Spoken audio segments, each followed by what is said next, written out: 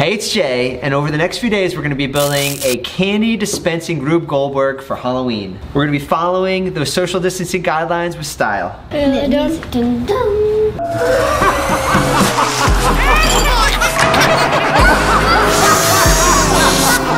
Here's our fully automated and voice activated candy dispenser and hand washing machine. But first, let me take you through the process of how we got here. For the first step, we're gonna have a pipe attached into the sump pump and we're gonna pump water up. And then this big 20 gallon tank is gonna be our reservoir.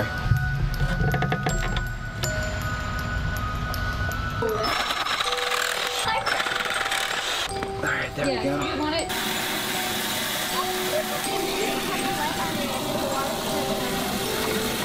Yeah, let's try this out. Three, two, one.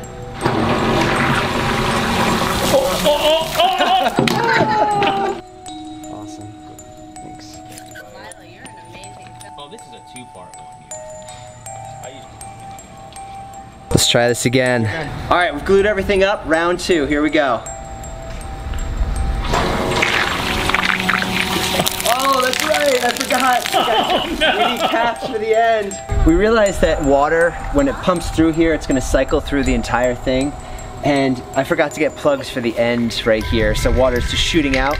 Once we once we do that, this whole thing will be really solid, and we'll be able to get our water flow. So the next thing is, I kind of drew up this plan. We're gonna build a base that's gonna go right next to the fish tank. We're gonna have two bike wheels that are gonna be attached to PVC pipes. We're gonna have a chain that has cups attached. Water is gonna flow down into the cups. The cups are gonna dump down here into the fish tank. We're gonna have a ball come up this side, so it'll be this continuous cycle.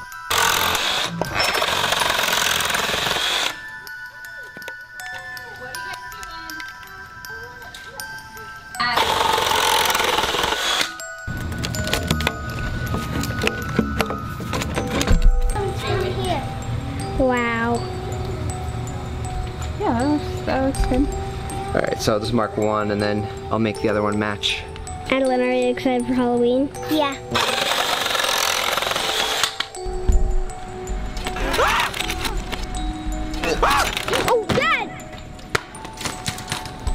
Good.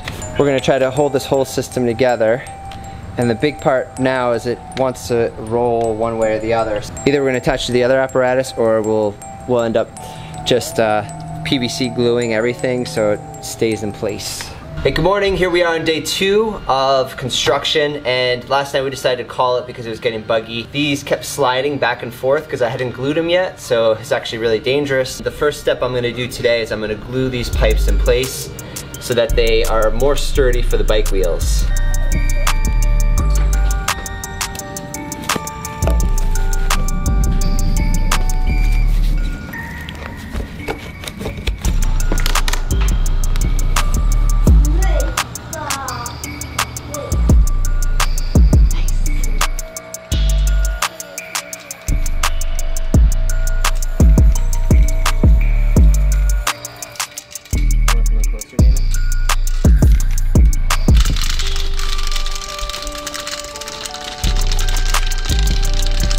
I just made a quick run to Home Depot to get caps for the bottom part of this and get a couple other supplies.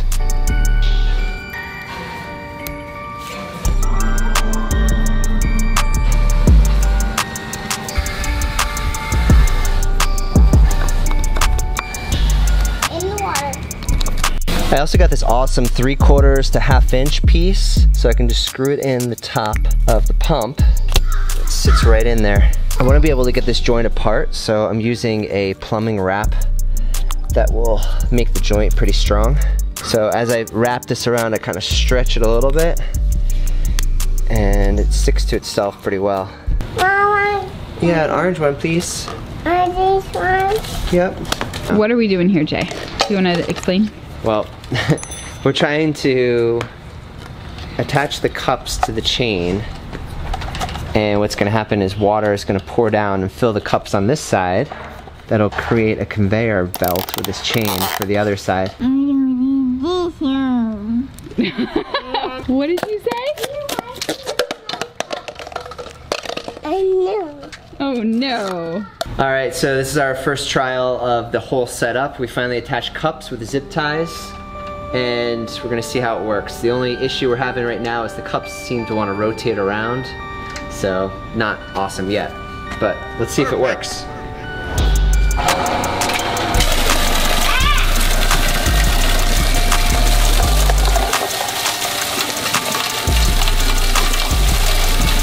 Chain immediately came off. Here we are, day three, and yesterday we had some challenges. Uh, when the chain was spinning, the tires were coming off, so we tightened up the chain a little bit uh, by putting plastic bags in the PVC so the tires won't move around as much, and it seems to be flowing much better. The other thing that we noticed is that the pipe is putting out, it's putting out so much volume of water, um, and the potential energy is so great that it's just collecting too much velocity, causing the cups to move too quickly. So what I'm gonna do is I'm gonna actually chop this off. We're gonna try to drop water in right at the end, which will make this spin just a little bit slower and maybe a little bit more under control. Right, that was way too much volume, so we're gonna try to reduce it by actually plugging some holes in the PVC that'll lead right back into the tank.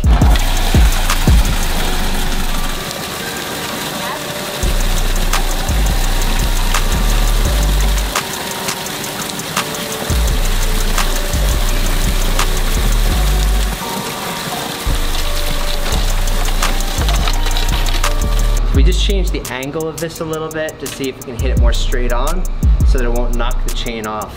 So let's try it one more time.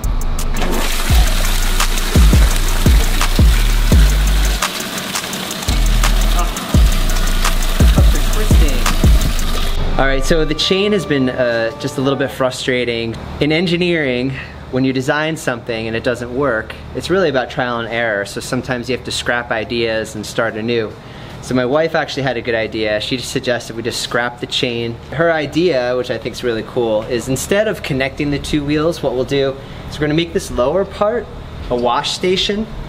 So as water comes in, it'll dump in this pan and we'll have a little stream of water flowing down to the bucket over there where kids can actually wash their hands in a little bucket with some soap. And then the wheel up here, we've already designed an apparatus, we just have to build it, but it's gonna basically dump candy in here and then the candy will dump out here and then go down a chute to the kids. So everything will still be automated.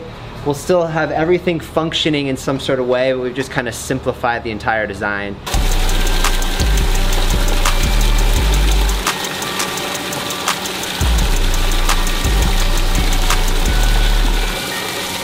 Now it's pretty, now it's pretty good flow.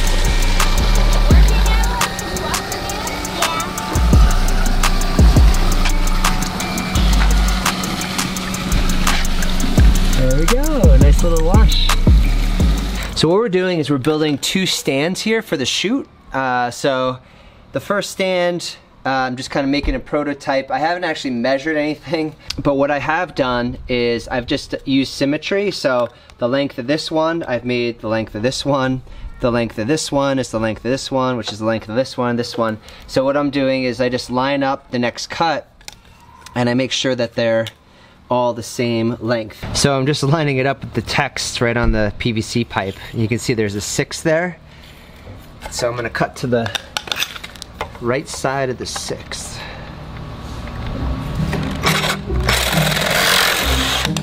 I have six pieces, they're all equal length. So then you just basically piece them in together.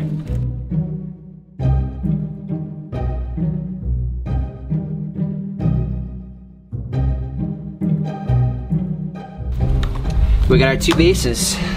We're just about done with the pipes. I'm putting the last few parts on. So, this is gonna be for the upper part, and then just one little connector to hold it together. We're gonna adjust it, put down. And right now it's gonna slide right off, but should we try it out? Sure. Maybe it is too tall. Oh. Yeah.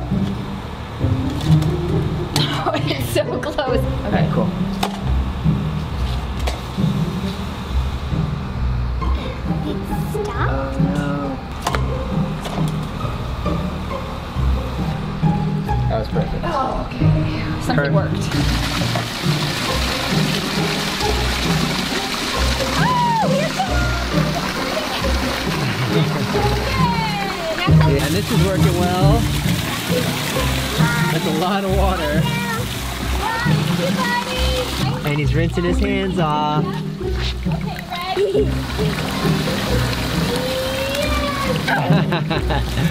now comes the fun part. We actually get to start to decorate a little bit.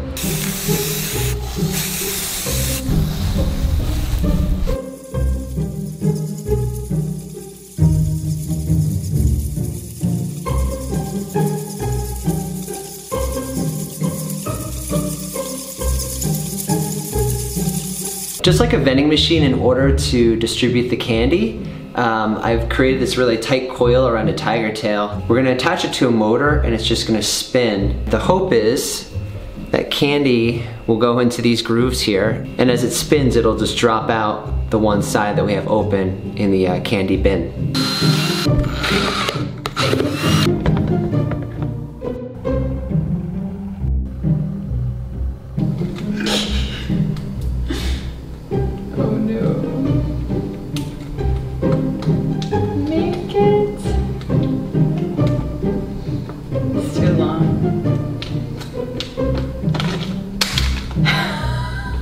We were struggling to get the design down and we were running out of time, so we had to bring in the big guns. Pop Pop, retired engineer. He not only helped us refine the design, but he helped us make it more and more consistent. How do we get this to work? The first thing is we had to put the um, axis of the screw drive slightly downward in the tub instead of slightly upward. Yeah. The pieces wanted to fall back in. Mm-hmm. Okay, so now we've got gravity helping us slightly downhill. That's number one. And number two, we had to create a coil spring, a drive spring, where the spacing is about equal to the width or length of each candy bar. Mm-hmm. Okay, that was so we basically opened up the spring. The second thing is we needed to captivate the spring so it doesn't fly around in space, and so we have a, a, a tunnel of sorts open at the top. That one I call, got in. I call it a half pipe, Yes. and the spring lays in the half pipe quite quite comfortably, and it pushes the candy pieces along.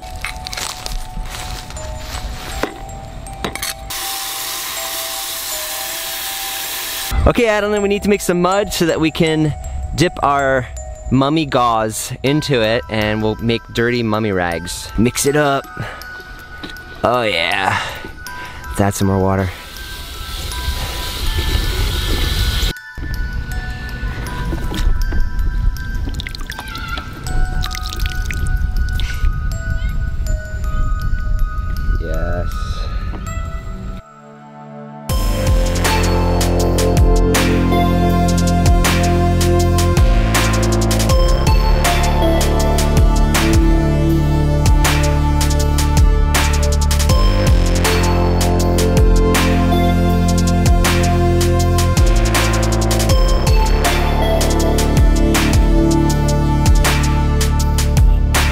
We just put a, a reverse channel on the top here, just kind of a lid that keeps the spring down. And you can see this one is nicely floating through. If we had a lot more time, we'd create a hopper to just feed candy in, but um, we are limited. Halloween's two days away.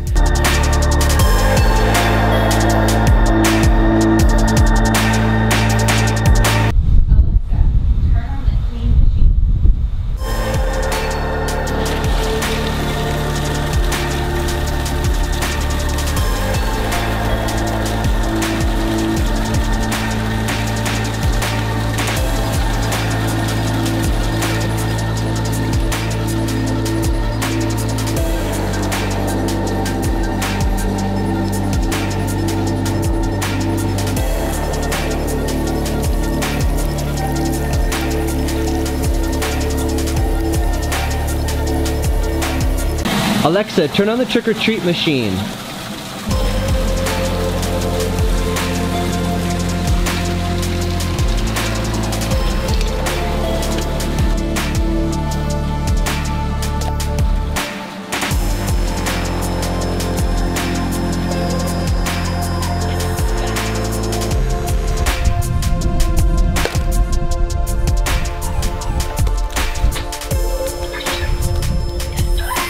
ハハハハ。